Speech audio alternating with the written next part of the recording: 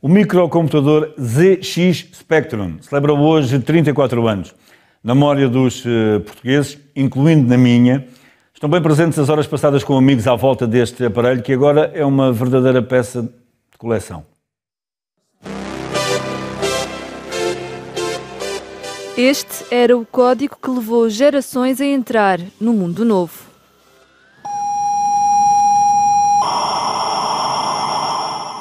E este era o som que anunciava o início das primeiras aventuras virtuais, numa altura em que Portugal e o mundo entravam na era dos jogos de computador.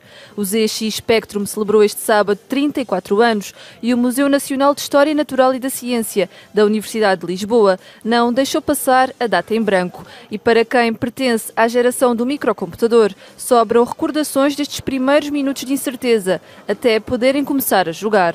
A frustração maior era sempre fazer o load aspas aspas para inserir os jogos via cassete, estar ali 5, 7, 10 minutos à espera que o jogo carregasse e depois no fim chegarem a mensagem file error, que era, era o desatino total. Depois era sempre a tentarmos afinar a cabeça do, do gravador para ter um, mais grave ou mais agudo para tentar carregar os jogos. Era bastante frustrante, devo dizer, mas um, ao fim de algum tempo aprendemos a sintonizar aquele som agudo e a perceber exatamente quando é que, quando é que íamos conseguir ou não, mas era muito, muito frustrante. Sim. E porque há coisas que nunca mudam, as muitas horas passadas ao ritmo do ZX Spectrum ficavam fora da vista dos adultos.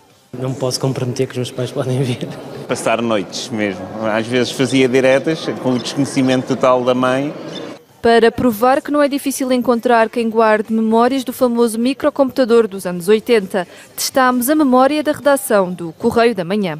Eu, como todas as pessoas da minha geração, passei horas e horas e horas infindáveis a jogar uh, Spectrum, mas, mas o, o início do jogo era sempre assim um era um bocado de jogo de sorte ao azar, porque nós nunca sabíamos se o jogo ia pegar ou não. Lembro-me principalmente da, das, dos minutos intermináveis que era preciso esperar para, para carregar um jogo e depois os jogos eram todos muito básicos, crachavam por tudo e por nada, mas eram super divertidos. Jogar é um conceito muito estranho quando se fala de ZX Spectrum, porque demorávamos 5 minutos ou mais à espera que o jogo entrasse e muitas das vezes não entrava.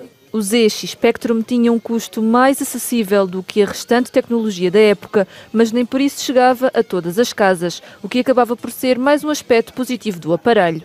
Não era, não era barata, portanto, estamos a falar de preços em Inglaterra na ordem das 100 libras, preços em Portugal, eh, penso que de 30 a 40 contos, na altura ainda, portanto, não era, obviamente, nem toda a gente conseguia ter, uh, mas havia também um efeito que acho que se calhar hoje perdeu-se um bocadinho, ou hoje passou para a internet, que é a questão de, da ligação entre as pessoas. Hoje em dia faz-se via rede, na altura as pessoas iam para casa uns dos outros para ir jogar o jogo novo. E porque recordar é viver, Clive Sinclair, o criador do aparelho, anunciou que o microcomputador vai regressar em formato de consola portátil.